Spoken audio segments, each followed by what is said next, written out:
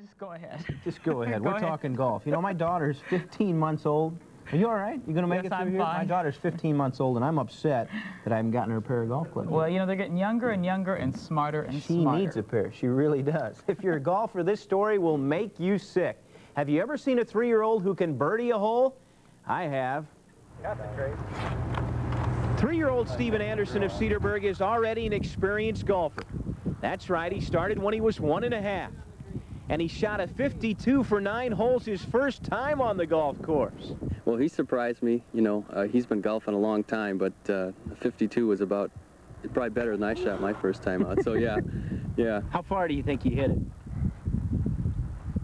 Uh, way up to the rough. Way up to the rough, huh? Stephen even buried a 25-foot putt on the ninth hole when he shot that 52. Five foot putt. You had a 25-foot putt, didn't you? Especially the last hole when he hit that 25-foot putt.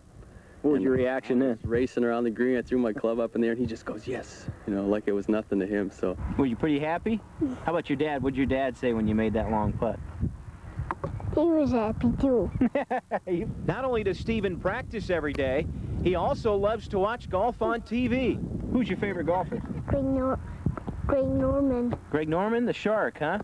Is that why you like him? Because they call him the Shark? Do you think someday you'll be as good as Greg Norman? Yeah. Do you? And my dad. The only thing that distracts Stephen on the golf course, well, it happens to the best of us. If Stephen keeps it up, who knows, he may be playing alongside Greg Norman someday. You know, golfers make a lot of money. Yeah.